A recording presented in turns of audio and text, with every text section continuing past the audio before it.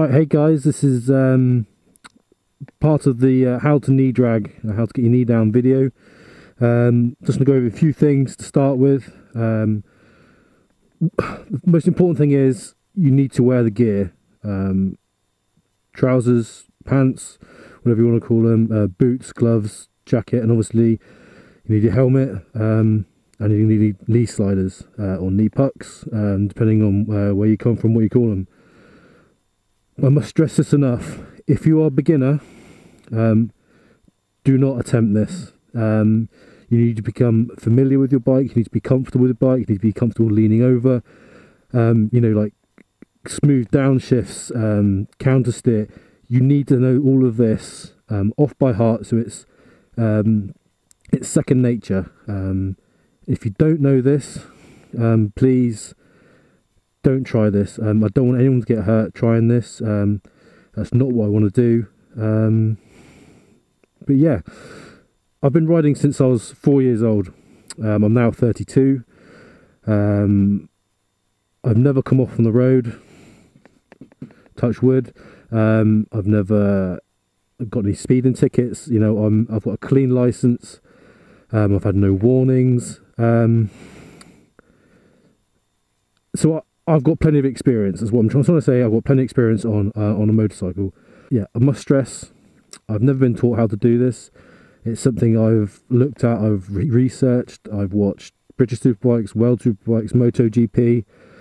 Um, I've watched how they enter the corners, what they do during the corners. Um, I've also watched people crashing um, and how their body position is, and you know all these things I've then put together. Um, and I never, you know, I didn't get my knee down straight away. It took me a good eighteen months of trying. Um, when I had my um, my last bike, which was my uh, Kawasaki 636. Um, so you know, please don't go out expecting to be able to do it just like that. Um, it's going to take practice, um, a lot of patience, and bit by bit by bit, you will get there. Um, I must say as well, you don't need to be able to knit your knee down, be a fast, safe, good rider. Um, if you can't do it, please don't stress about it. Um, it's not the end of the world. Um, you know, just go out, ride, and enjoy yourself. Um, but that being said, the feeling you get when your knees down, dragging on the tarmac, um, you know, it's a great feeling. Uh, it makes me smile. So um, that's that for the minute. Um, we're going to go over a few other things uh, on the bike, um, and uh, we'll take it from there. So, cheers. Right, guys. First thing you need to make sure is that your bike is uh, working 100%. Make sure there's no issues with it. You know, like bearings, anything with your bearings. Make sure your chain's good. Uh, make sure it's not too tight. Um, your fork seals. You know, make sure there's um, they're not weeping. You need to make sure your bike is as 100% you know, as it can be. Um, no issues. Um, there's no point putting yourself in a position where um, bike failure um, could could put you down the road. Uh, it's not something I want anyone to, to come back and you know, feed to me that um, something happened. I do not want anyone to get hurt doing this. All right, so uh, please, guys, just make sure you're um, wearing all the gear. Um, go to the gear video now.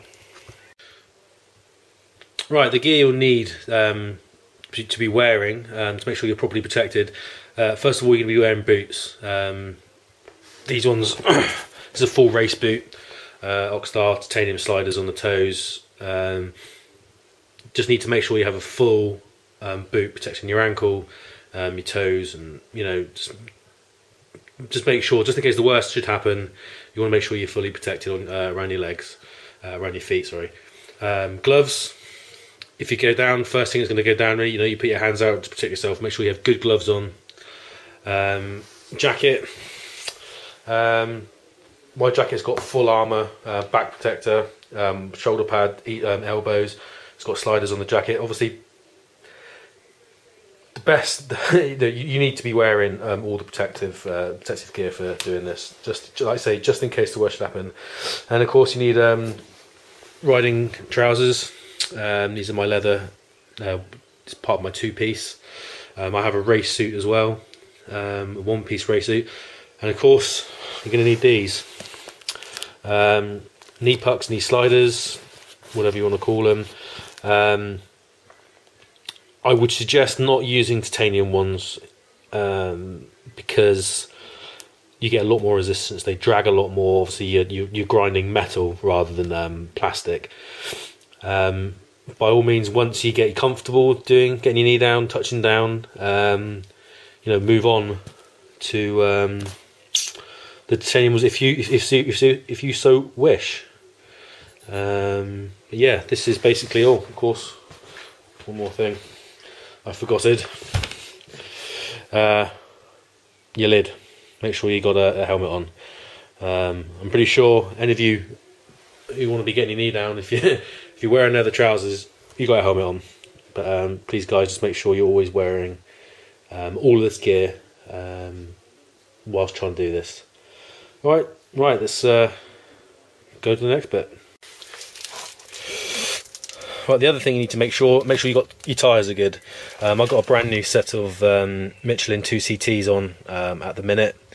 Um, you know, make sure the tyre pressures are correct. Um, just go to the manufacturer's uh, specifications. I think um, I run a couple of psi under under what they say. that's my preference. but you know, if you not haven't done this before, please just run stock stock pressures. Once you get it down, you know, once you get um, get the uh, get the art of it down, um, you can then start messing around with um, you know your tire pressures. Generally, this, if you run a couple of psi less, it gives you a slightly bigger contact patch. But much so much, you never you're not you're not going to realise it um, when you first started. Um, so yeah, make sure you've got good trap depth. Um, you know, make sure there's no blisters or scallops on your tyres. yeah, like I say, front and rear tyres, make sure they're good. Um, yeah. Uh, other thing you need to make sure is um, you're comfortable laying the bike over on its, you know, lean, leaning it over. Um, personally, unless you need to be able to get your, your bike lent over, so the strip you have the edge of your tyre. I mean, I haven't got any strip. To, there's no strip there to show you, unfortunately. Um, but basically, if you put a finger width, if you're um, you can lean the bike over and you've got like a finger width um, to the edge of the tyre, um, you you should be able to get your knee down. Um, and if you can get your knee down with that much tread, just think how much further you can lean the bike. You can get your knee down with a bigger a bigger chicken chicken chicken strip. I'm not saying chicken strip. That's that's not the right terms. Um, if the strip is bigger, you can do it, um, get your knee down, but then you're basically reaching, and the technique you're using to get your knee down isn't correct. Um, so you know, before you try it, just make sure you're comfortable leaning the bike over. Make sure you've got like half an inch, three quarters of an inch um, of a strip um, over. Like I say, I haven't got any strip to show you. Um, I don't have any strips. Um, let's just try the front tire because normally I might have a strip on the front. Uh, no. Sorry, cannot. No, um, just make sure that you are comfortable leaning the bike over and you can get it over to a certain point um, yeah, because if you can't get it over that far comfortably, um, you're basically, like I say, you're reaching, um, you're turning your knee out too far, and you will not be doing it using the right technique um, to get the bike over. So yeah, just bear that in mind, guys. All right. Well, now in my my normal riding position, head looking forward. Now, before you enter the corner, you want to try and shift your body weight over when you do this, you, you you sort of lift your backside or your ass off the seat and slide it across. Okay. Um, you do this because if you drag the bike, you, know, you can see you can see when I'm stationary, it's the bike's just shaking. So if you lift your lift lift your backside over, and um, you, you, you everything's just smooth. Okay. So uh, you do this just before you enter in the corner. Um, as you're entering the corner, what you need to do is look to the apex or past the apex, okay? So you need to look past past where you're going. Look always look where you're going. Do not look straight ahead. Always look where you're going, okay? Um, very important if you if you're leaning across and you look straight, that's where you're going to end up. You always need to follow um, basically the bike will follow where you're looking. Okay. Right. Okay, guys. Um, bikes on the paddock stand. It's keeping it bot upright. Um, unfortunately, it's the only place I can really do it in the garage. Just excuse the mess. Um, but if, when it's on the paddock stand, it means I can lean on the bike and I can try and show you the body position you'll need um, without being on the move. Okay. Um, like I say, I'm wearing shorts and t-shirt as well. Um, hopefully, that means you'll be able to see my body position better rather than all covered up in uh, in leathers. The biggest thing I've noticed about um, um, people, if you go to as RN Mickey Mouse or whatever his name is, he's on the Mulholland, uh, the snake, um, whatever you call it over in um, in in America, and he has lots of videos. He's he's got this corner where he always sits, takes videos, and you see he sees a lot of people crash. Um, generally, they're crashing when they're trying to get the knee down, and you can guarantee most of the people when they are um, going around the bend and they're not doing it correctly is the body position. The body is twisted. Okay, so basically, when you're on the bike in your riding position, right, when you enter the corner, imagine there's a section. This section here is like a wall, okay? You cannot see through it, right? It's solid. And you look, your wall's probably sort of, you know, this sort of wide. So when you're leaning off the bike, when you see them on um, the Mulholland, their, their ass is off the seat, but their head is still in the middle of the bike. And then they're leaning, and then they're looking to the apex. And what this is doing is, your body is out of line with the bike. So basically, you're fighting all the time. Then your knee has to go out a lot further. You can see, your knee has to come out a lot further um, to get the right angle to get your knee down. So basically, they are leaning the bike a lot more than what they need to.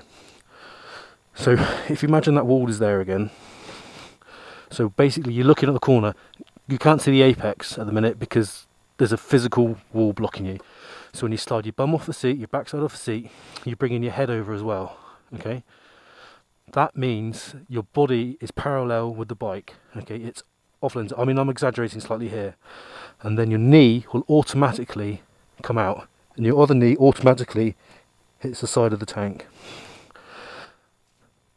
And then I what I do is I just tend to tend to lean over, and that's it. And that's the position. And then you're looking where you're going. You're looking past the apex to the apex, or know, look as far to the corner as you can. All right. So that's, in my opinion, is, is the correct body position. When you see them on Mulholland, they're like this, and then they're leaning, and then they're turning, and nothing is nothing is lined up. When you come into the corner, you've got the brick wall. Brick wall is there as you move across, you're lifting your bum. Okay, I should have mentioned that before. You don't slide. If you watch me now, if I slide, if I slide, you can see that the bike, you know, it, it wobbles. What you're gonna do is you're gonna just lift, take your weight off off the off the seat with your legs. So you're lifting and then you're moving, and then you're doing this in one movement. Okay. When you're doing this, you're then pressing on the right. This is obviously for a right hand corner. As you're coming across, automatically your weight is is leaning more onto your right hand, okay, which is then making the bike counter steer, which is tipping the bike over. And then once you get down there, you're in the right position. You stop the counter steer, look through the corner, and away you go.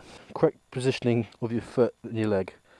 Um, don't ride with your heel on the pegs, your feet on the pegs, like this. Um, the main reason is if you, it's more important on your left hand, because if you've got your your foot underneath the shifter, uh, your foot underneath the shift like this, your foot hanging down, and then when you lean the bike over, the chances are your foot will hit the floor. Um, you know, I don't know what would happen. you probably probably the bike would probably go down and. Uh, you would not be impressed. So always ride balls in the feet and the pegs. And when you lift lift over and you come across, your ball of your foot is on the peg, which means it can just roll around, roll over, and um, that's that's where you want that's where you want to be. Okay, not like this. One because you don't have much balance on the bike because you're balancing trying to balance on your heel. and it just don't feel very stable. So if you're on your balls of your feet, like on yeah, and then when you're over, your your weight is um, in a good place. Um, you feel like you're in control of where you are. Right, guys, I think that's all I can show you now um, without being on the bike moving. Um, if you have a paddock stand, I would um, I would urge you to um, put it on the put your bike on the stand, get on it, um, and try moving your body around. Um, make sure you like your left knee, if you're going a right hander, is touching the tank, gripping yourself on, balls um, on your balls, your feet on the pegs, um, keeping your body in line with the bike as you lean off. Try and fix fixate or not fixate. Imagine that wall in front of you, um, which you have to try and look around with the top half. So your top half the body is moving across with your head. So you, your body is parallel with your bike, leaning over, and then you're looking looking for the apex, looking past, looking to the furthest point you can in the corner. Um, and yeah, so just try that on the stand. Um, try and get comfortable, uh, get comfortable moving your body around, your body weight around, um, and take it from there. Um, I would say if you're not 100% on um, counter steering, um, AK47s has got a great video and um, uh, all about it, explains it. He explains it very well, better than I can explain it. So I'm going to put a link around there somewhere. Um, entry into the corner, you need to make sure you're nice and nice and um, stable, nice and settled. You need to be able to downshift, get into the correct gear, um, doing it smoothly. Um, so go and check out uh, another video. Um, Huskers GBR's on a very good video of it um, on how to downshift um, smoothly. So link is there. Um, and Baker X Derek, he's got a good video on body positioning on the bike. Uh, he touches on counter steering as well. Um, please just go and check these three videos out. I'll put links, that's Baker X Derek's, um, links below in the description um, as always. Um, please, even if you're savvy with it all, if you're not 100%, just go and have a just a recap, just get get it in your head, um, try and get it second nature. All right, guys. Um, next time you see me, uh, we'll be um, out on the black stuff. All right. Cheers, guys.